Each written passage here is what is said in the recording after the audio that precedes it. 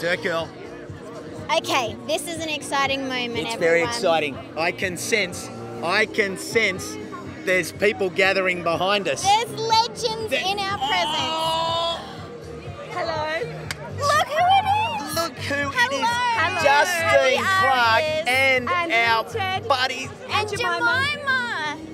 I've loved you guys carpet. for so long. Hello. Hello. I think we're getting an exclusive interview here at the Arias with these living, sort of, legends. They are living legends, definitely. And what's even more living about the legend is that it's a benchmark year this year. Not 10, not 20, but Not 30. not, Not that 40, we're older than the Arias. But 50 years of play school. Yeah. Now that is unbelievable. And Yeah. here you are with them. I know. Do you, do you feel honoured? I bet they feel honoured. I always feel honoured to hold the toys, whether it's, you know, the first day that I met them, every day that I get to join them on set, I always feel very happy to be in their company. How many children's uh, lives have these guys been part of? And you too. Now you're nominated, is that right? Yes, I am. I mean, Right. really, thanks to Play School and, you know, it's incredible that incredible show. I think um, it has given me a great opportunity to maybe bring a little bit more children's music to the world and expose kids to different styles of music. And um, really, that's all I want to do is share the love.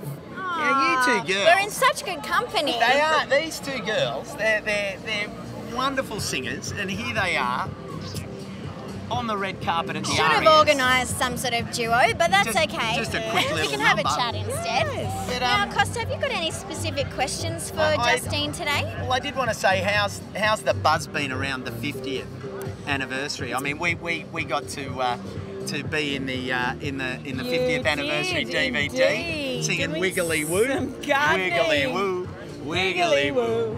Let's all do the wiggly woo. You got it. Yeah, wiggly woo, Wiggly woo. Woo.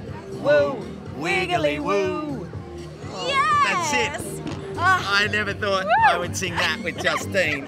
I'm pretty on happy, red carpet you know. Sitting in the garden as a garden gnome all the time, I just watch it through the sliding doors, you know. Whereas this time, I just feel like I'm really a part of the action. You're a natural at it, Costa. A natural. You really were, Costa, I've got to say.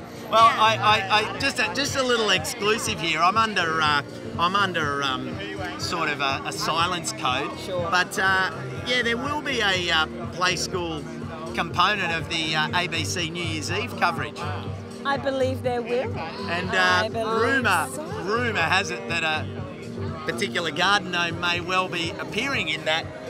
Well, I tell you what, I'll be looking forward to that, and so will the toys. Now on the green carpet here, we've got we've got two big questions for you just to finish off with.